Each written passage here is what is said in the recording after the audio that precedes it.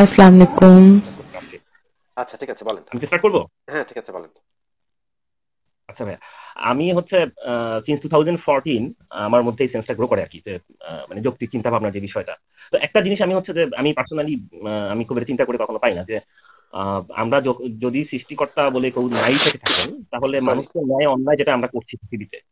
শুনতে পাচ্ছেন আপনি আমাকে? হ্যাঁ শুনতে পাচ্ছি ভাই। সরি আমার আমার একটু ঠান্ডা আছে আমি অ্যালার্জি আছে। অ্যালার্জির কারণে হ্যাঁ বলেন আপনি। হ্যালো ভাই আপনার কথা শোনা যাচ্ছে না। আপনার কথা শোনা যাচ্ছে না আবার একটু বলেন। এখন শুনতে পাচ্ছেন? হ্যাঁ এখন শুনতে পাচ্ছি ভাই। আচ্ছা যদি পৃথিবীতে সৃষ্টিকর্তা বলে কেউ নাই থেকে থাকেন তাহলে আমরা যে ন্যায় অন্যায়টা আমরা করছি মানুষরা ওই আমরা যে হিউম্যান বিংরা ন্যায় অন্যায়টা করছি এটা আসলে কি হবে তাহলে হিয়ার আফটার লাইফে যদি হিয়ার আফটার লাইফ বলি আবার কিছু থেকে থাকে এই জীবনের পরে যে কোনো জীবন থেকে থাকে তাহলে সেটা কি হবে অ্যাকচুয়ালি আচ্ছা যেই হরিণটা আজকে ঘুরতে গিয়েছিল এবং একটা বাঘ তাকে ধরে খেয়ে ফেলেছে এখন হরিণটা এবং হরিণটার ফ্যামিলির দৃষ্টিতে, হরিণের বাবা মা যারা ছিল, তাদের দৃষ্টিতে ব্যাপারটা বিশাল একটা অন্যায় কাজ হয়েছে। কিন্তু বাঘ এবং বাঘের ফ্যামিলির দৃষ্টিতে ব্যাপারটা হচ্ছে তাদের প্রয়োজন মিটেছে, তারা খেতে পেরেছে।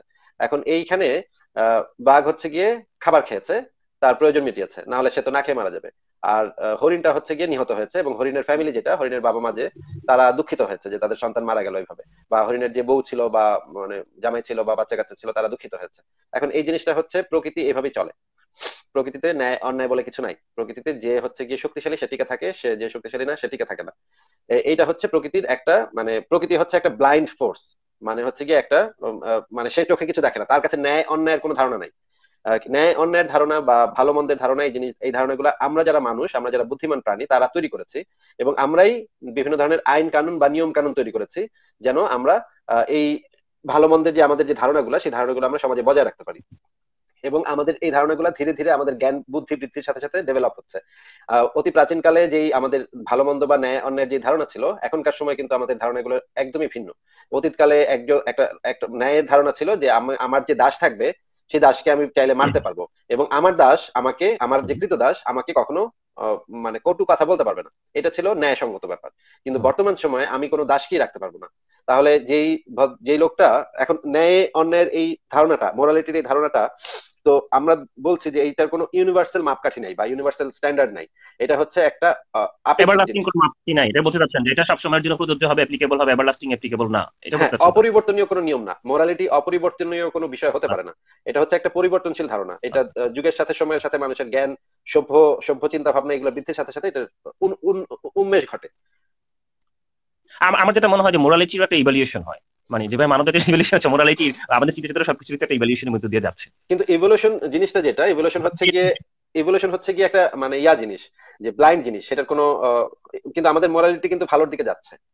যেমন ধরেন আপনি যদি পাঁচশো বছর বা এক হাজার বছর আগের কথা চিন্তা করেন কিন্তু ইভলিউশন কিন্তু ভালোর দিকে যাবে বা মন্দের দিকে যাবে এরকম কোনো ইয়া নাই। এটা হচ্ছে র্যান্ডম মিউটেশনের মাধ্যমে হয়তো এটার ভালো মন্দের কোনো ব্যাপার নেই সেখানে। কিন্তু আমাদের মোরালিটির যে উন্মেষ যেটা মানে কালেকটিভ মোরালিটি যেটাকে আমরা বলি যেটা যেটা মানে ফিলোসফিক্যালি এটাকে বলা হয় কালেকটিভ মোরালিটি যেটা হচ্ছে ব্যক্তির মোরালিটি না ইন্ডিভিজুয়াল মোরালিটি না কালেকটিভ মোরালিটি কিন্তু ভালোর দিকে যাচ্ছে। যেমন ধরেন আমরা এখন যুদ্ধ বিরোধী একটা অবস্থানের দিকে ধীরে ধীরে যাচ্ছে পৃথিবীর মানুষ, যে আমরা যুদ্ধ থামানোর চেষ্টা করছি এবং পৃথিবীর যারা সভ্য শিক্ষিত মানুষজন আছেন, মানবিক মানুষজন আছেন, তারা কিন্তু চেষ্টা করছেন যে যেন যুদ্ধ না লাগে যে কোনো উপায় যেন একটা কথাবার্তার মাধ্যমে, আলাপ আলোচনার মাধ্যমে যুদ্ধটা থামানো যায়।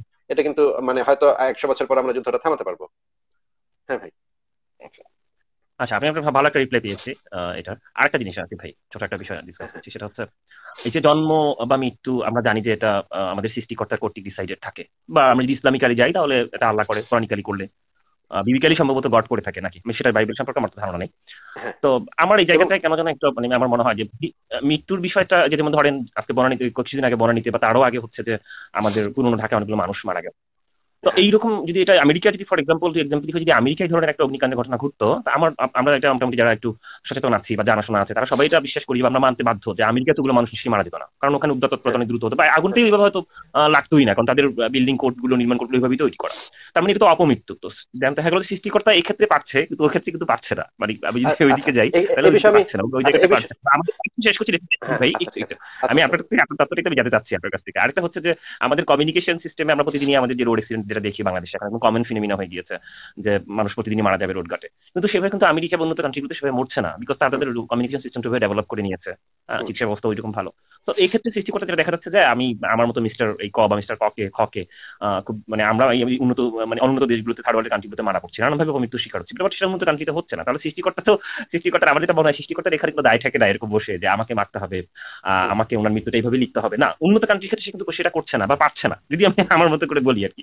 তো আবার যেটা বড় হয় আর কি এই ক্ষেত্রে যে কারও মৃত্যুর ক্ষেত্রে সৃষ্টিকর্তার এমন এত বড় যে সৃষ্টিকর্তা I believe in creator personally আমি ক্রিয়েটরে বিশ্বাস করি। সেটা আমি মানে কোরআনিক আল্লাহ বা বিবিকাল গড সেদিকে আমি যাচ্ছি না। পার্সোনালি আমি ক্রিয়েটরকে বিশ্বাস করি। I like I like to call him define him. As creator ক্রিয়েটরের আমার মনে হয় যে ক্রিয়েটর এত ইউনিভার্সকে উনি সৃষ্টি করেছেন। টেরিয়ান গ্লাক্সিস দিয়েছেন সেখানে। ওনার এরকম কোনো এত নিচু তা ওনার মানসিকতা এত লোনেস নাই যে আমাকে বা আসিফ ভাইকে বা মিস্টার ক মিস্টার এ কে খকে উনি আসলে রোড অ্যাক্সিডেন্ট দিয়ে মেরে ফেলবেন। ধরেন এই সারা একটা বছর সিএম সাধনা মাস আসছে দুই মাস পরই সম্ভবত। করতে আমি বিশেষ লোকে দেখছি যে অলরেডি চলে আসতেছে। অনেকে এটা নিয়ে আগাম শুভেচ্ছা টুভেচ্ছা জানাতে যাক।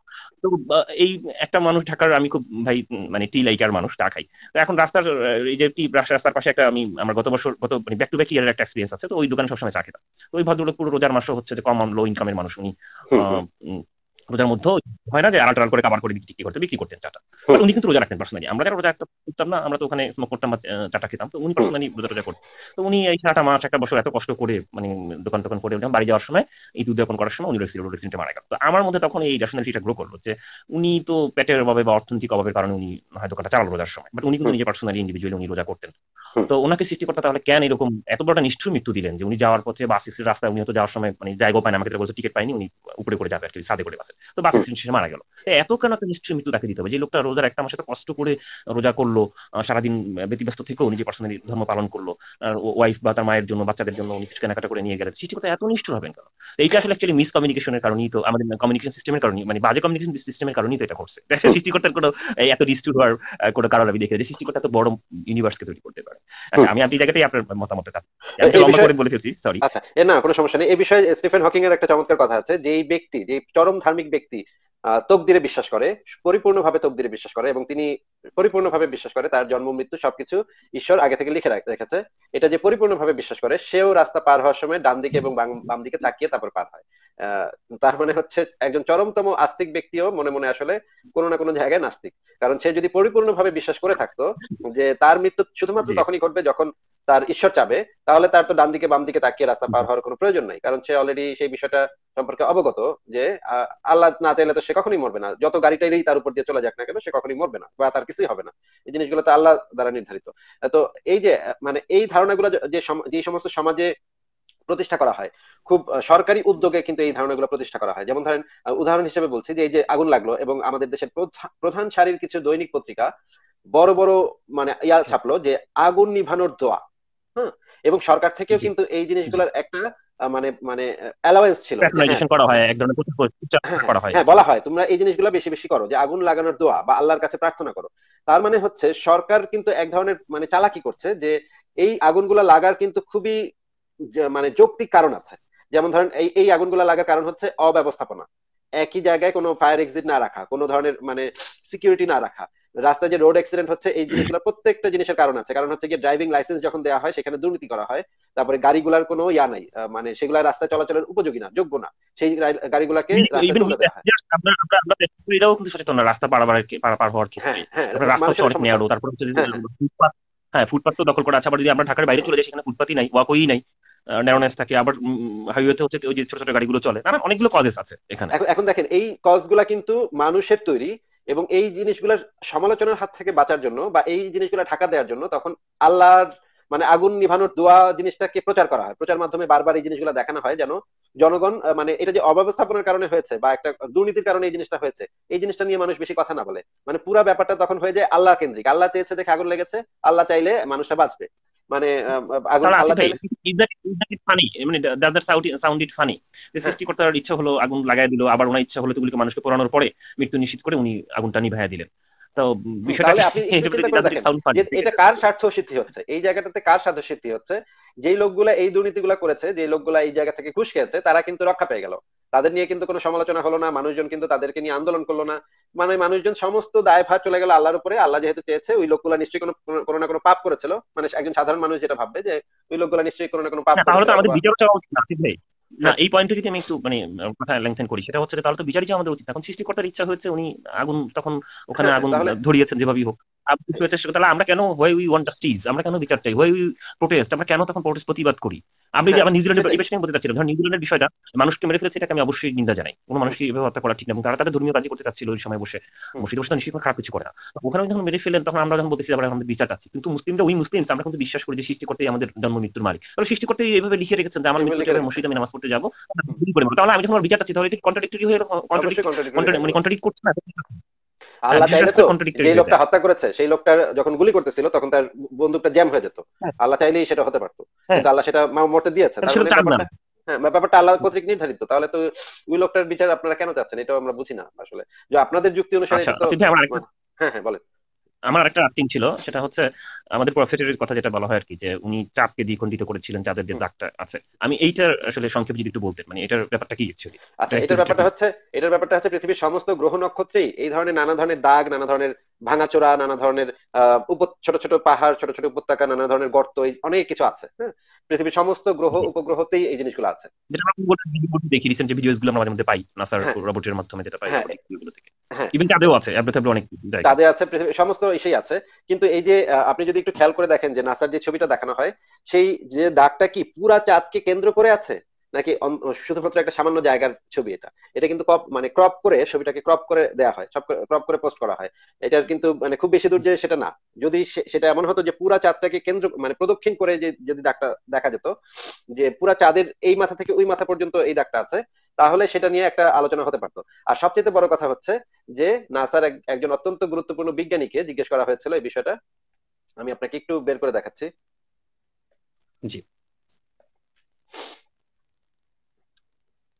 আচ্ছা। আচ্ছা এটা এই জিনিস আপনি নাস্তিক ডট কমে পাবেন চন্দ্র দ্বিখণ্ডন বিষয়ে নাসার একজন শীর্ষ বিজ্ঞানীকে জিজ্ঞেস করা হয়েছিল।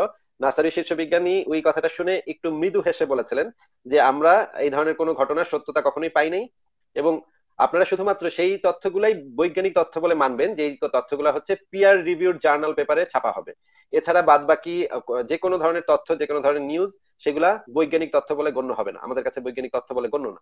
উনি পরিষ্কার ভাবে এটার উত্তরে, এই যে চাঁদ দ্বিখণ্ডিত হয়েছে কিনা, এটার উত্তরে এই কথাটা বলেছিলেন। আপনি যদি একটু অনুগ্রহ করে এই জিনিসটা নাস্তিক ডট কমে দেখেন মুসলমানদের মধ্যে প্রচলিত এই যে দুইটা লেখা আছে এই বিষয়ে। একটা লেখার নাম হচ্ছে তথাকথিত চন্দ্র দ্বিখণ্ডন, দ্বিখণ্ডনের তথাকথিত ফটোগ্রাফিক প্রমাণ এবং মুসলিমদের জালিয়াতি। এটা একটা লেখা আছে। আর একটা লেখা আছে মুসলমানদের মধ্যে প্রচলিত কিছু কি জানো? আমি লিখেছিলাম এটা অন্য লেখাটা আমি লিখেছিলাম, এখন আমার মনে পড়ছে না। মুসলমানদের মধ্যে প্রচলিত কিছু মিথ্যাচার, এই সম্ভবত এটা নাম। এই লেখা দুইটার মধ্যেই আমি এই জিনিসগুলো উল্লেখ করেছি। এই লেখা দুইটার মধ্যে এই রেফারেন্সগুলো দেওয়া আছে, কোন জায়গায় নাসার সেই বিজ্ঞানী এই কথাগুলো বলেছেন সেই জিনিসগুলো বলা আছে। আপনি একটু দেখেন এটা আপনি পাবেন নাস্তিক ডট কমে আচ্ছা আচ্ছা ভাই আরেকটা কোয়েশ্চেন আছে। আমি কি আলোচনা হ্যাঁ। ই করব? হ্যাঁ হ্যাঁ বলেন। শর্ট করব কোনটা? না না বলেন। আচ্ছা আমার কাছে আজকে ছিল অনেকদিন থেকে আর কি যার সাথে আপনাকে এই আমার এই কনফিউশন একটু ক্লারিফাই করে নিচ্ছি আর কি। আরেকটা হচ্ছে প্রফিটকে যদি আমরা দেখি মানডেনলি তো উনি অশিক্ষিত একজন মানুষ ছিলেন। He had no academic education তাই না? তখন একাডেমিক এডুকেশন ছিল না কিছুই ছিল না। তাহলে আমার একটা মাঝে মধ্যে মানে আমার কনফিউশন করে পড়ে যে উনি কোরআনে যেমন ধরেন টুকটাক যেটাই বলেছে গ্রহণ নক্ষত্র সম্পর্কে অথবা চাপ সম্পর্কে, পানিচক্র সম্পর্কে, আমাদের যে অ্যাবডোমিনালের যে জন্ম প্রক্রিয়া সম্পর্কে নানান ভাবে এরকম যেটাই টুকটাক যা আছে। ওনার মতো একটা মানে এত অশিক্ষিত একটা মানুষের পক্ষে একটু ভাইয়াকে। মানে উনি তো মান্ডেনি একদমই অশিক্ষিত ছিল। ওনার মানুষের পক্ষে এই ধরনের ওয়ার্ড বা এই ধরনের চিন্তাগুলি কীভাবে আসলো? নাকি এগুলো উনি যেটা আমরা যেটা মানে আপনারা সাধারণত বলে থাকেন বা আমরা অন্য সোর্স থেকেও শুনি আর কি আনইসলামিক সোর্সগুলো থেকে, যেগুলো হচ্ছে যে অন্য জায়গা থেকে কালেক্ট করা। একদমই কি পুরোটা কালেক্ট করা? মানে পুরোটা তো একদম কালেক্ট করলে কি এটা সম্ভব ছিল? নাকি মানে কীভাবে? আসলে ব্যাপারটা কি? রিয়েলিটিটা কি ছিল? অ্যাকচুয়ালিটা কি? আচ্ছা রিয়েলিটি হচ্ছে এটাই যে তাকে যে মানে ইসলামিক সোর্স থেকে যে জিনিসগুলো জানা যায় বা আমরা মোল্লাদের থেকে, হুজুরদের থেকে যে জিনিসটা প্রতিনিয়ত শুনি বারবার বারবার ওনারা খুব বহুল ভাবে প্রচার করে থাকেন যে উনি হচ্ছেন অশিক্ষিত ছিলেন, উনি অশিক্ষিত ছিলেন, উনি কিছু জানতেন না, উনি অশিক্ষিত, ওনার কোনো প্রাতিষ্ঠানিক শিক্ষা ছিল না, এই কথাগুলো ওনারা বারবার বারবার বলতে থাকেন। কিন্তু তাদের কাছে আমি জানতে চাই যে ওই সময় কার কার প্রাতিষ্ঠানিক শিক্ষা ছিল? বা কে কে ওইখানে ওই সময় ইউনিভার্সিটিতে গিয়ে পড়ালেখা করেছে বা স্কুলে গিয়ে পড়ালেখা করেছে? এটা কি ভাই আপনি আমাকে বলতে পারবেন যে ওই সময় কোনো ব্যক্তি ইউনিভার্সিটিতে গিয়ে পড়ালেখা করেছেন নাকি কোন কোন স্কুলে গিয়ে পড়ালেখা করেছেন এটা আমরা জানতে চাই? ওই সময় না ইউনিভার্সিটি কোনো এক্সিস্টেন্স ছিল তখন বোধহয় 1400 এ ছিল ওই সময় আরবে আরবে আরবে সেই সময় কোনো ইউনিভার্সিটি ছিল না। হ্যাঁ, বা মানে মানে কোনো স্কুল ছিল না। স্কুল সিস্টেমটাই ছিল না সেই সময়। মানে পড়ালেখার মাধ্যমটাই ছিল হচ্ছে গিয়ে বিভিন্ন জায়গায় গিয়ে আপনি কন্টেক্সচুয়ালি একটা প্রশ্ন আমার মনে আসছে আপনার এই কথা যেহেতু কোনো একাডেমিক শিক্ষা ছিল না যেটা মানুষ মোল্লারা যেটা বলতে হুজুররা বলে যে কোনো মানে এমন ভাবে বলে এমন ভাবে বলে যে চারিদিকে অনেক বড় বড় বিশ্ববিদ্যালয় কিন্তু উনি খালি বিশ্ববিদ্যালয় যান নাই। সবাই বিশ্ববিদ্যালয় যাচ্ছে উনি খালি যান নাই। মানে এটার মানে এই কথার মানে কি? এই কথার মানে বুঝি না। আচ্ছা না গিয়ে হচ্ছে অনেক জ্ঞান আছে আর কি ঐশ্বরিক বা মানে সুপার ন্যাচারাল জ্ঞান পেয়েছে এটাই বলতে চাই এখানে এই প্রমাণের জন্য আমরা একটা প্রশ্ন বলে যে ওই সময় অন্ধকারের খুব যুগ ছিল তখন আয়ামে জাহিলিয়া যেটাকে বলে এরকম ছিল। বাট আমি তাহলে তো এটার সাথে আরেকটা জিনিস কন্ট্রাডিক্টরি পেলাম যে উনি প্রথমে যাকে বিয়ে করেছিলেন চল্লিশ বছর না কত বছর বয়স ছিল আর কি? ভদ্রমহিলার। হ্যাঁ তো উনি সেই সময় হুজুরদের ববরণ থেকে আমি যেটা শুনি যে উনি ঘুরে ঘুরে ব্যবসা করতেন বিভিন্ন জায়গায় সিরিয়া টিরিয়া গিয়ে তাহলে ওই ওরকম অন্ধকার একটা যুগে ওরকম একটা লেডি ওয়ার্ল্ড ঘুরে ব্যবসা করতে বলা যায়। মানে এক দেশ থেকে আরেক দেশে গিয়ে ব্যবসা করতেন। তার মানে হাউ মানে how advance the society was এবং মহিলারাই বা কতটা অগ্রসর ছিল একটা অন্ধকারের যুগ ছিল না। এবং আপনি আরও আরও পরে দেখেন আরও পরে দেখেন আইয়ামে জাহিলিয়াতের যুগের যে কথা বলা হয় সেই সময় কিন্তু সাহিত্যে আরব অঞ্চল, মক্কা এবং ওই অঞ্চলটা অত্যন্ত প্রভাবশালী ছিল। অত্যন্ত চমৎকার চমৎকার সাহিত্য লেখা হয়েছিল। সেই সময় ইমরুল কায়েসের মতো কবি ছিলেন সেই সময়। ইমরুল কায়েস কিন্তু অত্যন্ত বড় বড় মাপের কবি ছিলেন সেই সময়। তারপরে হজরত মোহাম্মদের সাথে খাদিজার যে বিয়ে দিয়েছেন, ওনার নাম হচ্ছে ওয়ারাকাবিন নফেল উনি অত্যন্ত জ্ঞানী এবং অত্যন্ত প্রভাবশালী একজন ব্যক্তি ছিলেন সেই অঞ্চলে। উনি বাইবেলের কিছু অংশের অনুবাদ করেছিলেন আরবি ভাষায়। তারপরে মানে সালমান ফার্সি ছিলেন। সালমান ফার্সি ছিলেন আরেকজন জ্ঞানী ব্যক্তি। এরকম আরও অনেকজন জ্ঞানী ব্যক্তি, জ্ঞানী মানুষ সেই সময় হজরত মোহাম্মদের আশেপাশে ছিলেন। এবং মানে এই এবং আরও মজার মজার ব্যাপার হচ্ছে যে আমরা যে জিনিসগুলো জানি সেই জিনিসগুলো যে কত ভুল জানি সেই সেইটার আরেকটা উদাহরণ উদাহরণ আমি দিচ্ছি যে আমরা কিন্তু সবসময় পড়ি যে হেরা পর্বতের গুহায় হজরত মোহাম্মদ গিয়ে গিয়ে ধ্যান করতেন। এই জিনিসটা আমরা পড়ি না সবসময়? আপনিও তো নিশ্চয়ই শুনেছেন বা পড়েছেন। হ্যাঁ, অনেক শুনেছি আমরা। কিন্তু এই জিনিসটা জানি না যে হেরা পর্বতের গুহায় কিন্তু উনি একা যেতেন না। হজরত আবু বকরও কিন্তু হেরা পর্বতের গুহায় ওনার সাথে যেতেন। আমি একটা হাদিস হাদিসের রেফারেন্সটা পরে একসময় দিয়ে দিব। হাদিসের রেফারেন্সটা এই মুহূর্তে আমি দিতে পারছি না আচ্ছা। কিন্তু আবু বকরকে তিনি একটা প্রশংসা করার জন্য বলেছিলেন যে, তুমিও তো সেই ব্যক্তি, যে ব্যক্তি আমার সাথে হেরা পর্বতের গুহায় যেতাম হম মানে। একটু চিন্তা করে দেখেন তিনি যে আমরা যে যেই জিনিসগুলো জানি সেগুলো যে কত ভুল ভালো জানি এই যে একদম সহি হাদিস থেকে কিন্তু আমি এটা আমি পরে এই হাদিসের রেফারেন্সটা আমি পরে দিয়ে দিব এক সময় কিন্তু এই হাদিস থেকে কিন্তু বোঝা যায় যে উনি একা একা হেরা পর্বতের গুহায় যেতেন না বা ওনার সাথে মানুষজন থাকতো। তাহলে হেরা পর্বতের গুহায় গিয়ে ওনারা কি করতেন? মধ্যে একটা জয়েন্ট এফোর্ট ছিল এটা কোনো মানে সলো এফোর্ট ছিল না। হ্যাঁ তাহলে আপনি আপনি একটু চিন্তা করে দেখেন তারা তারা কি করতো? এখানে গিয়ে নিশ্চয়ই মানে গাজা টানতো না? নিশ্চয়ই কেন মানে আলোচনা আলাপ আলোচনাই করতেন ওনারা। এবং একটা জিনিস ভাই মানে যেই কথাটা আমি আবার টু দ্য পয়েন্ট যে মানে ধরেন আমরা যেটা বুঝলাম যে ওখানে একটা প্রসেসিং সে করছে বা বড় কবি টবি সবাই অনেক পাশে ছিল অনেক জ্ঞানী অনেক ওয়াইজ আমরা সারাউন্ডিং মানে সারাউন্ডেড ছিলেন অনেক ওয়াইজ করতে কিন্তু আলটিমেটলি কোরআনের যে বিষয়গুলো উনি সাজিয়েছেন এবং কোরআনে আমরা যদি মোটামুটি সেটা রাইটলি বা রংলি সেটা আমি যাচ্ছি না মানে সকল জিনিসের একটা মোরাললেস ছোটখাটো বেশি আলোচনা কিন্তু কোরআনের মধ্যে আছে। তাহলে একটা মানে উনি যেটা আমরা জানি যে ওই সময় যেহেতু ইউনিভার্সিটি ছিলই না আমি ওনাকে অশিক্ষিতই ধরে নিলাম প্রফেটকে এই অশিক্ষিত মানুষটার পক্ষে এরকম সবকিছু সেটা রাইটলি রংলি আমি আবার রিপিট যে সেদিকে আমি যাচ্ছি না কিন্তু সবকিছুর যে একটা সমন্বয় একটা জায়গায় নিয়ে আসা এইটা কীভাবে সম্ভব ছিল? এটাকে ন্যাশনাল কোনো কিছু আছে? নাকি না? আসলে এটাই মানে যেটা আমরা আচ্ছা আপনি একটা কাজ করেন। আপনি একদম ইসলাম আপনি যে মুসলিম হিসেবে জন্মগ্রহণ করেছেন সেই জায়গাটা থেকে একদম বের হয়ে একদম সবকিছু ভুলে গিয়ে আপনি কোরআনটা একটা গ্রন্থ হিসেবে পড়েন এবং শুরু থেকে পড়েন।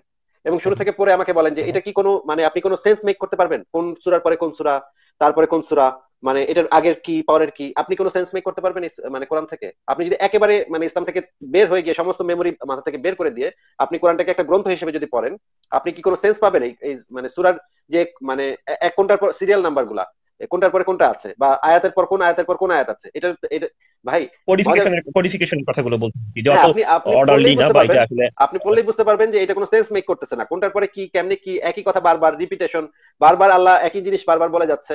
এই জিনিসগুলো তো আপনি আপনি পড়লে বুঝতে পারবেন তো। এবং মানে তাহলে আপনি মানে এটা তো কোরআনটা তো যেটা নাজিল হয়েছে তারা বলে যে তেইশ বছর ধরে তো মানে নাজিল হয়েছে সেটা বলে তারা। এখন বিভিন্ন সময়ের পরিপ্রেক্ষিতে এক একটা সুরা এসে পট করে নাজিল হয়েছে হ্যাঁ? এখন কিন্তু মজার ব্যাপার হচ্ছে কোরআনটা তো সেই অনুসারে নাজিল নাজিলের ক্রম অনুসারে তো কোরআনটাকে সাজানো হয়নি।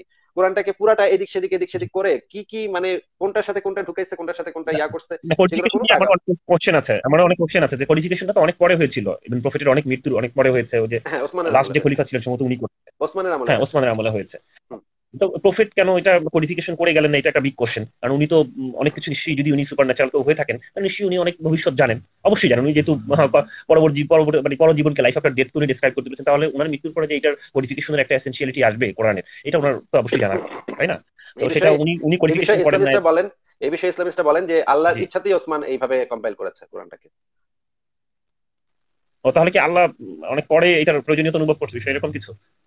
কি জানি ভাই আমরা এটা তো আমি বলতে পারব না কিন্তু ইসলামিস্টগণ এটার একটা যুক্তি দেওয়ার চেষ্টা করেন যে এই মানে আল্লাহর ইচ্ছাতেই এটা হয়েছে। আচ্ছা না বুঝতে পেরেছি।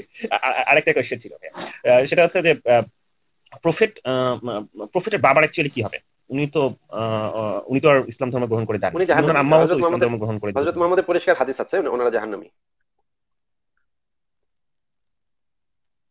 আচ্ছা তাহলে তো আয়েশা যে আমি তো এটা কোরআনিক বোধহয় ভার্স আছে আমি যতটুকু আমি সোফার আই ক্যান রিমেম্বার যে ওনার প্রফিটের স্ত্রীরা হচ্ছে যে ওনার মৃত্যুর পরে পর্দার মধ্যে থাকবেন। তো আয়েশা তো ওনার মৃত্যুর পরে হচ্ছে মক্কায় নামুদিনাতে কোথায় যেন টিচিং মানে শিক্ষকতা করেছেন ইভেন যুদ্ধ হ্যাঁ। অংশগ্রহণ করেছেন। তাহলে হোয়াট অ্যাবাউট আয়েশা? আয়েশার ক্ষেত্রে কি হবে?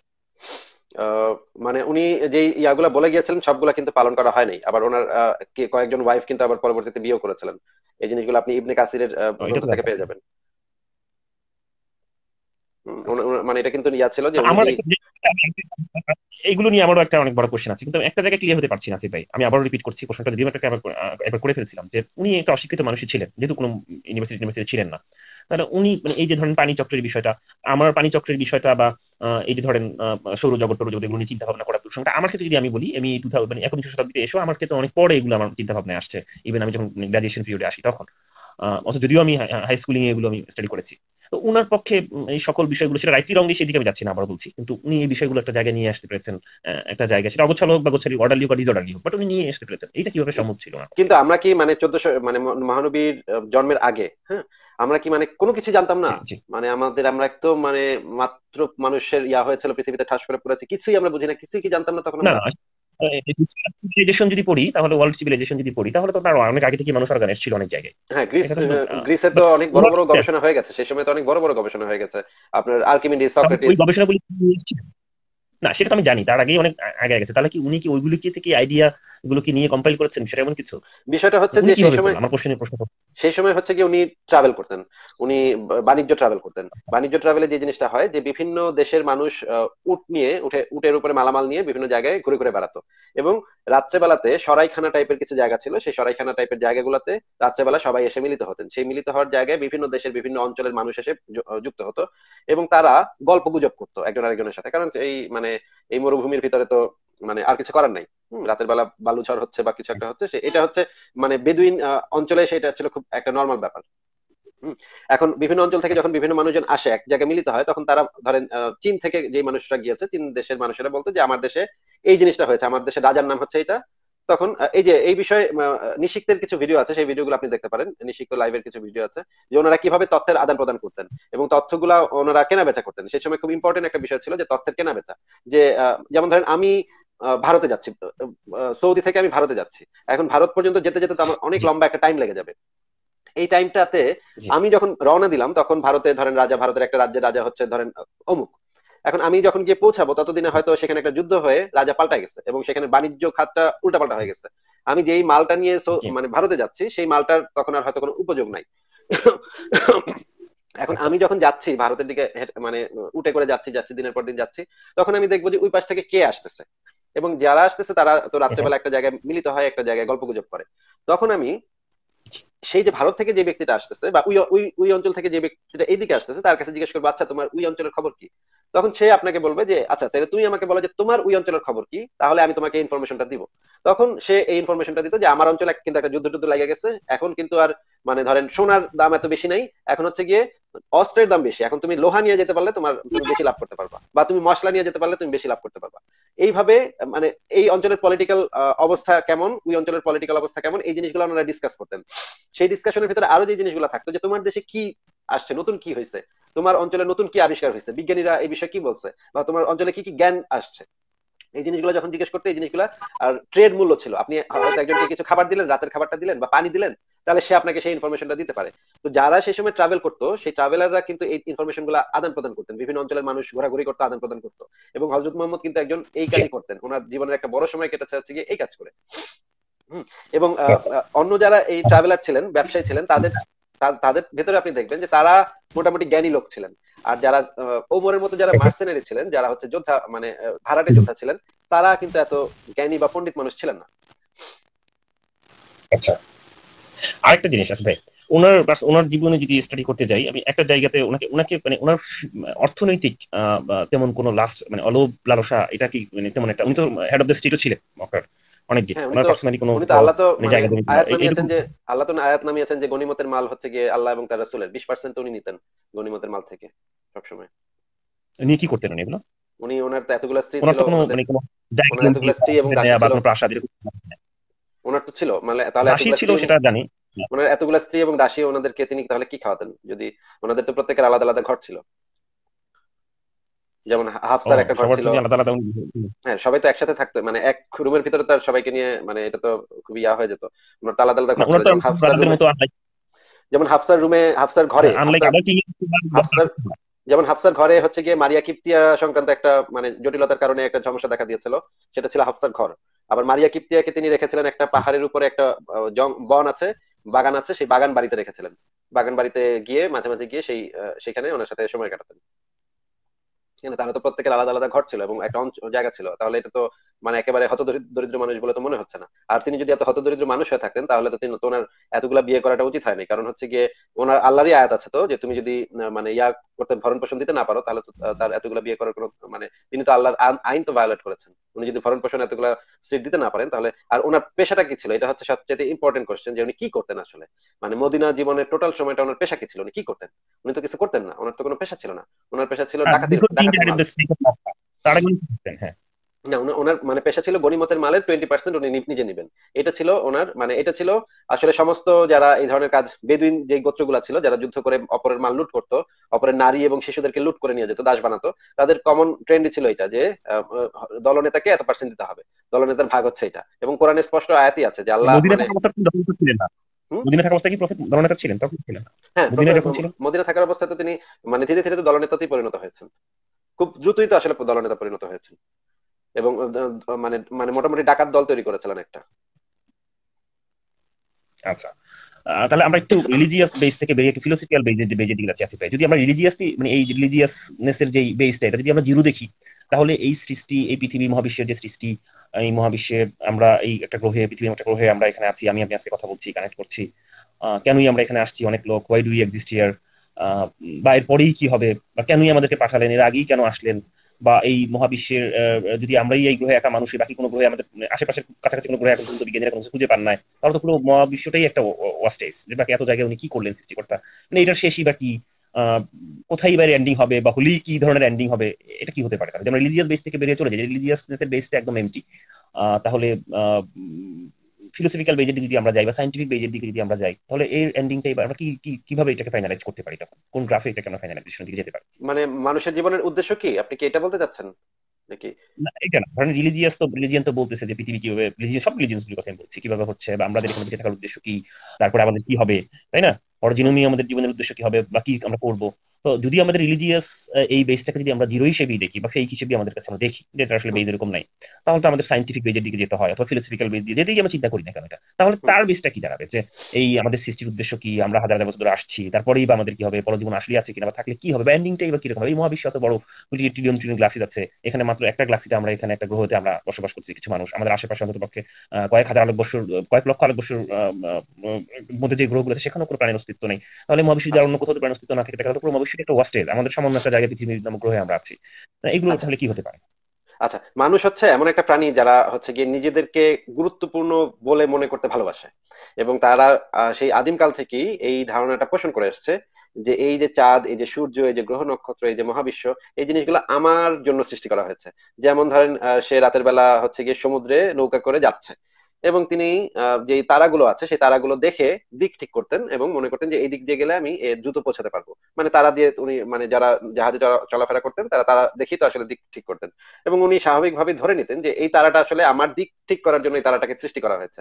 যেহেতু উনি মনে করতেন যে মানে আমার মানে নিজেকে গুরুত্বপূর্ণ বলে মনে করতেন এবং তার বাসায় যাওয়াটা যেন সহজ হয় এবং তিনি যেন দিক ঠিক করে বাসা সুন্দর মতো যেতে পারেন, এই জন্য দেবতারা আগে থেকে তারা বানায় রাখছে। হ্যাঁ আকাশে এই এই জায়গায় একটা তারা বানাইছে এখানে একটা তারা বানাইছে। যেন আমি ঠিকঠাক মতো মতো এই এই জায়গাটা দিয়ে যেতে পারি। এখন এই জিনিসটা আমি কেন বললাম? এই জিনিসটা বললাম কারণ হচ্ছে কি মানুষের এই ইগোটা যে এই তারাটা আমার বাসায় যাওয়ার জন্য এই তারাটাকে বানানো হয়েছে। বা ধরেন আহ, গরু গরুকে আমরা মেরে খাই। গরুটাকে বানানো হয়েছে, আমার, আমি যেন ভালো করে খেতে পারি, আমি যেন মজা পাই খেয়ে, সেই কারণে গরুটাকে বানানো হয়েছে। মানুষের যে এই ইগো এটা হচ্ছে অত্যন্ত প্রাচীন একটা মানুষের একটা বৈশিষ্ট্য।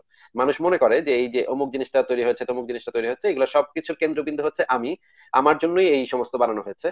কিন্তু বিজ্ঞান কাজ করে হচ্ছে গিয়ে এইভাবে বিজ্ঞান কাজ করে না। বিজ্ঞান হচ্ছে সত্য নিয়ে কাজ করে এভিডেন্সের উপরে কাজ করে। বিজ্ঞান যেটা সত্য, সেটা আপনাকে জানাবে। এখন সেটা হয়তো আপনার ইগোতে কিছুটা হার্ট করবে। আপনার যে এই ইগোটা আছে যে আপনার জন্য আসলে কিছুই সৃষ্টি করা হয়নি, এই জিনিসগুলা আপনার আপনার অস্তিত্ব অত্যন্ত তুচ্ছ একটা জিনিস। আপনি একজন মানুষ, আপনার অস্তিত্ব মহাবিশ্বের যদি আপনি পুরো মহাবিশ্বের ক্ষেত্রে চিন্তা করেন, মহাবিশ্ব এজ এ হোল চিন্তা করেন, তাহলে আপনার অস্তিত্বের কোনো মূল্য মহাবিশ্বের কাছে নাই। আপনি পৃথিবীর মানে মহাবিশ্বের অত্যন্ত ক্ষুদ্র এক চিপার, একটা সৌরজগৎ নামক একটা জায়গার, একটা সূর্য নামক একটা গ্রহের, অত্যন্ত গৌণ একটা, সূর্য নামক একটা নক্ষত্রের, অত্যন্ত গৌণ একটা নক্ষত্রের, অত্যন্ত গৌণ একটা গ্রহের, অত্যন্ত গৌণ একটা দেশের অত্যন্ত গৌণ একটা প্রাণীর একটা একজন একজন একটা একটা প্রাণী আর কি। এটা মহাবিশ্বে খুবই আহ মানে তুচ্ছ এবং হাস্যকর একটা বিষয়। এখন কিন্তু মানুষ তো এটা ভাবতে চায় না। আমিও এটা তো ভাবতে চাই না। আমি তো ভাবতে চাই যে সূর্যটাকে আমার জন্য আমি যেন আমি যেন সকালবেলা ঘুম থেকে উঠতে পারি এই জন্য বা আমার আমার আমাকে যেন আমার স্কিনে সূর্যের আলো পড়লে আমি যেন মানে ভিটামিন ডি পাই এই জন্য সূর্যটাকে সৃষ্টি করা হয়েছে। কিন্তু সত্য কথাটা তো তা না। সত্য কথাটা হচ্ছে গিয়ে সূর্যটা ভিটামিন ডি দিচ্ছে দেখি আমি এই পর্যন্ত আসতে পেরেছি। মানে না হলে আমি আমার যে আগের প্রজন্ম আগেই আমি মারা যেতাম। হম সূর্য যদি না থাকতো তাহলে অতি অতি আগের প্রজন্মেই আমি ধ্বংস হয়ে যেতাম, বা আমার জন্মই হতো না, বা আমার প্রজাতির জন্মই হতো না, বা মানব প্রজাতির জন্ম হতো না, জীব প্রজাতির জন্ম হতো না। কিন্তু সূর্যটা আছে বলেই জীব প্রজাতির জন্ম হয়েছে, জীব প্রজাতি মানে টিকে গেছে, মানুষ নামক একটা প্রজাতি টিকে গেছে, টিকে গিয়ে আমি এই পর্যন্ত এসেছি। কিন্তু আমাকে মানে আলো দেওয়ার জন্য, আমার স্কিনের ভিটামিন ডি এর জন্য সূর্যটার সৃষ্টি করা হয়েছে, এটা আমার ক্ষেত্রে মানতে একটু খারাপ লাগবে। কিন্তু আমি আবার আমি যদি ভাবি যে আমার জন্য সূর্যটা সৃষ্টি করা হয়েছে, তাহলে এটা আবার শুনতে শুনতে বা আমি, আমার ইগোটা স্যাটিসফাই হবে। এটা এটা মনে করলে আমার। কিন্তু বিজ্ঞান ফিলোসফি এই জিনিসগুলো কাজ করে যুক্তির উপরে, সত্যের উপরে, প্রাপ্ত এভিডেন্সের উপরে। এইখানে আপনার এই ইগো গুলাকে স্যাটিসফাই তারা করবে না। এই কারণে এই জিনিসগুলা মানে পড়ালেখা করা, জানাটা একটু মানে আপনার আপনার মানে আমরা যারা এই যে মানে এই ইগো বা শ্রেষ্ঠত্বের ধারণা যারা আমরা পোষণ করি, যে মানুষ সৃষ্টির শ্রেষ্ঠ জীব এবং মানুষের জন্যই সমস্ত কিছু সৃষ্টি করা হয়েছে, আমরা এই ধারণা যারা পোষণ করি, তাদের জন্য এটা একটা বড় চ্যালেঞ্জ যে আমরা আসলে সত্যটাকে মানছি কিনা, প্রাপ্ত তথ্য উপাত্তের ভিত্তিতে। আচ্ছা তাহলে আসিফ ভাই একটা জিনিস দিতে চাই ধরুন আমাদের যে আবেগ অনুভূতি ট্রাজেডি হ্যাপিনেস যেমন আপনার বাবুকে আপনার কিডসকে আপনি প্রায় আমি দেখি যে লাইভে নিয়ে আসেন। এই যে কত যত্ন করে অনেক কষ্ট হয় তবুও তাকে আপনি ধরে রেখে বুকে রেখে কোলে রেখে আমাদের সাথে কথা বলেন সময় দেন বা অন্য সময় সব বাবা মারা এটা করে তাহলে এগুলোর কি এখানেই শেষ? এই যে আবেগ ভালোবাসা অনুভূতি এত স্যাক্রিফাইস এর কোনো কি তাহলে আর কোনো আফটার ওয়ার্ড কোনো ইফেক্ট বা রিয়েলিটি নাই? এখানে কি সবকিছু শেষ? এটাই তো মানে আমার কাছে মনে হয় যে এটাই তো সবচেয়ে চমৎকার ব্যাপার যে আমি আমার সন্তানকে ভালোবাসি। এটার আফটারে কি থাকতে হবে? মানে এটা আমি আসলে বুঝতে, আমার জন্য এটা বোঝাটা আসলে কঠিন। কিন্তু আমার তো মনে হয় যে এই যে এই অনুভূতিটা এই অনুভূতিটা খুব চমৎকার একটা অনুভূতি। এবং এটা যে আবার মানে আমার মানে আমাদের কেন এরকম ধারণা যে একটা জিনিস অনেক দিন লাস্ট করলে বা ভবিষ্যতে আমাদের একটা কিছু হলে একটা জিনিস, সবকিছুর ভবিষ্যৎ থাকতে হবে। যেমন ধরেন আপনি আপনার প্রেমিকাকে ভালোবাসেন। আপনার সেই মুহূর্তটাই তো ইম্পর্টেন্ট এই মুহূর্তে যেই মুহূর্তে আপনি ভালোবাসেন সেই মুহূর্তটাই তো ইম্পর্টেন্ট এখন ভবিষ্যতে হয়তো আপনাদের বিয়ে হলো বিয়ে হওয়ার পর সংসার হলো সংসারের পর আর ভালোবাসাটা সেভাবে থাকল না। কিন্তু তাতে তো মানে ওই মুহূর্তের ভালোবাসাটা তো তাতে মিথ্যা হয়ে যাচ্ছে না। তাতে তো ওই মুহূর্তের ভালোবাসাটার মূল্য তো সেখানেই থাকতেছে। আপনি কি আপনি কি বুঝতে পারছেন? মানে এটা তো এক একটা মুহূর্তের ব্যাপার। এখানে তো আপনার ভবিষ্যৎ যে থাকতেই হবে বা ইটস অফ দ্য মুমেন্ট কিন্তু এমন তো কখনো হয় যেমন ধরেন আপনি বাবুকে অনেক দিন অনেক ত্যাগ তিতিক্ষা স্নেহ ভালোবাসা দিয়ে বাবুর কাছে বাবুকে বড় করেছেন। যেটা আমাদের মানে থার্ড ওয়ার্ল্ডের কান্ট্রিতে যেটা তো আমি কিছু প্রতিদান যেমন আরও মাতা বলে ক্ষেত্রে যেটা আমরা দেখলাম। তো ওই বাবা মাকে আমি কিছু আমার প্যারেন্টাল প্যারেন্টসদের জন্য প্যারেন্টাল সাইডের জন্য আমি কিছু কন্ট্রিবিউট করাই কন্ট্রিবিউশনের আগে ওনারা চলে গেলেন। এই তাহলে ওনাদের যেই ত্যাগ বা আমার জন্য যে ট্র্যাজেডি এগুলির কি তাহলে আর কোনো মানে আফটার ইফেক্ট নাই? বা এগুলির আফটার ওয়ার্ড কোনো ফাইনালি আফটার ইফেক্ট তো আছে অবশ্যই। আফটার ইফেক্ট তো অবশ্যই আছে। আমি আমার পিতামাতা আমাকে যেভাবে বড় করেছে সেই জন্য আমি আমার সন্তানকে আমি আরেকটু ভালোভাবে বড় করব এবং তার সন্তানকে সে নিশ্চয়ই আরেকটু ভালোভাবে বড় করবে আরেকটু এক্সিস্টিং যে আছে তার জন্য। কিন্তু যেটা বাইগান যেটা চলে গেল ধরেন আমার মায়ের কথাই বললাম বাবা মার কথাই বললাম। তার জন্য কিছু করতে পারলাম না ফর এক্সাম্পল আর কি। হ্যাঁ। তার আমার জন্য উনি অনেক স্যাক্রিফাইস করেছেন। তাহলে হ্যাঁ। তো আমি আমি সেই শিক্ষাটা নিয়ে বা সেই অনুভূতিটাকে নিয়ে আমি আমার জেনারেশন টু কাম তাকে আমি ওইভাবে আইডিয়ালাইজ করলাম বা হিউম্যানাইজ করলাম। কিন্তু আমার বাবার জন্য তো আমি কিছু করতে পারছি না। তাহলে ওইটার কোনো আফটার ইফেক্ট কি আর থাকল না? আমি তো সারা জীবন একটা লাইফ টাইম ট্রাজেডি নিয়ে গেলাম সেই ট্রাজেডি নিয়ে I will I will die তাহলে এগুলি কি এখানেই শেষ? এগুলো আর কোনো আফটার ইফেক্ট হয় না। কারণ দেখেন আসিফ ভাই আজকে আপনি জার্মানিতে আছেন। আমি কিন্তু এখানে বসে ঢাকায় বসে আপনাকে আমি কানেক্ট করে ফেলতে পেরেছি। আমাদের সবার কাছে একটা করে মোবাইল আছে। বা সবার এখন অনলাইনে একটা আইডেন্টি আছে। সেটা ইমেলে হোক বা ভাইবার আইডি হোক বা হোয়াটসঅ্যাপ আইডি হোক বা ফেসবুক আইডি হোক। তো পৃথিবীতে এতগুলো মানুষ আমি ঠিক জানি না কত স্পেসিফিক মানুষ। তো এখান থেকে কিন্তু সবার একটা এখন কানেক্ট করা সম্ভব এর মধ্যে খুব সহজই এখানে আছে। তাহলে আমার যেটা মনে হয় আমার পার্সোনালি মনে হয় যে রিলিজিয়াস বেস থেকে না মানে আমার এটা মনে হয় যে এই মহাবিশ্ব এত সুশৃঙ্খল আছে খুব everything is very well thought প্রত্যেকটা জায়গায় খুব ওয়েল সেট জিনিস আমরা দেখছি প্রকৃতির মধ্যে। তো যদি এটা র্যান্ডমলি তৈরি হয় তাহলে এত ওয়েল ওয়েল সেট কি আপনি যে সুনামি হচ্ছে এই যে সুনামি হচ্ছে এই যে আগ্নেয়গিরির অগ্নুৎপাত হচ্ছে এগুলো কি ওয়েল টিউনড এই যে মানে মহামারী হচ্ছে এত রোগে এত রোগে মানুষ লক্ষ লক্ষ মানুষ মারা যাচ্ছে। আচ্ছা। ধরেন আমি আপনার সাথে কথা বলছি এই যে লাইনটা কিন্তু একটা কি বলে যে মানে কল ড্রপ করে এটাও হতে পারে থাকতেই মানে যে যখন এটা হবে এই যে জিনিসটা আমরা ঘটছে আমি কথা বলছি এটা একটা ডিস্টারবেন্সও কিন্তু থাকবে। তো যেই সৃষ্টি যেটা আছে সেটা ডিস্টারবেন্স ঘটছে ঘটতেই পারে। কিন্তু আমার প্রশ্ন হচ্ছে তবুও পৃথিবীতে যদি র্যান্ডমলিও তৈরি হয় অনেক কিছু কিন্তু হয়েছে যে প্রত্যেকটা গ্রহ যার যার মতো করে ঘুরছে তার কক্ষপথে পাশাপাশি আছে। তাহলে এভাবে আছে দেখি তো আমরা এখন আমরা জন্মেছি। ভাই এভাবে হয়েছে দেখি তো আমরা আমরা টিকেছি। নাহলে তো আমরা টিকে থাকতে পারতাম না। কোনো একটা জায়গায় যদি এমন একটা ঘটনা ঘটতো যেমন যেমন আমাদের আগে অনেকগুলো প্রজাতি ধ্বংস হয়ে গেছে নিয়ান্ডারথাল মানুষরা ধ্বংস হয়ে গেছে। এখন এরকম অসংখ্য প্রজাতি ধ্বংস হয়ে গেছে। তারা টিকতে পারেনি তারা ধ্বংস হয়ে গেছে। আমরা টিকে গেছি কোনো না কোনো ভাবে টিকে গেছি তেলা পোকা টিকে গেছে। এখানে তো মানে মানে এত ইসের মানে এখানে আপনি কেন মনে করছেন যে তেলাপোকা টিকে গেছে দেখি? মনে করছি যে হ্যাঁ আচ্ছা আমি ওয়েলথ মনে করছি যে, আপনি যদি গ্রহগুলোর দিকে বা দিকে দেখেন, মহাবিশ্বের দিকে দেখেন, সবকিছুই একটা মনে হবে যে, না, একটা সিস্টেমে যাচ্ছে। ওয়েল তাই না? আমি আমরা আমরা যদি আধুনিক যুগের দিকে তাকে আমরা এর মধ্যে থেকে আমি নিজেকে আইডেন্টিফাই করতে পারছি ভার্চুয়ালি আপনাকে আমি কানেক্ট করলাম আপনি কানেক্ট করলেন। তাহলে এমন কোন শক্তি কি অ্যাকচুয়ালি আছে? যেটা আমি যে কথা ছিলাম মানে going back to my back point যে আমার মাকে আমি হারাইলাম ওই অনুভূতি দিয়ে আমি পরবর্তীতে হয়তো তার সাথে আমার আপনার মানে ডেথ তার সাথে হয়তো কানেক্টেড কানেক্টেড হওয়া সম্ভব এরকম কিছু হতে পারে। কিন্তু ওয়েল টিউনটাই আমি আসলে বুঝতে পারলাম না আমি অনেকগুলা মানে নক্ষত্র অনেকগুলো নক্ষত্র আছে যে নক্ষত্র নক্ষত্রগুলো ধ্বংস হয়ে গেছে যে নক্ষত্রগুলোর ফুয়েল শেষ হয়ে গেছে শেষ পর্যন্ত তারা ব্ল্যাক হোলে পরিণত হয়েছে। কিন্তু তাহলে ওয়েল টিউন কীভাবে হলো? সেই নক্ষত্রগুলোর কি হবে? সেই নক্ষত্রগুলোর কোনো তো আর কিছু থাকল না সে তো ব্ল্যাক হোলে পরিণত হলো। তো সেই নক্ষত্রগুলোর তো চারপাশে কিছু গ্রহ উপগ্রহ ছিল সেগুলো তো ধ্বংস হয়ে গেল। তাহলে আমরা যেটা জানি আর কি মহাবিশ্ব সম্পর্কে, যে এটা খুব ওয়েল ওয়েল সিস্টেমাইজড ব্যাপারটা তাহলে এরকম না। এই যে, এই বিষয়ে আমাদের নাস্তিক ডট কম একটা লেখা আছে ওয়েল টিউনড আর্গুমেন্ট নিয়ে। এটা যদি আপনি একটু পড়ে পড়ে পড়ে দেখেন, এটা নিয়ে একটা চমৎকার লেখা আছে। এটা একটু পড়েন তাহলে।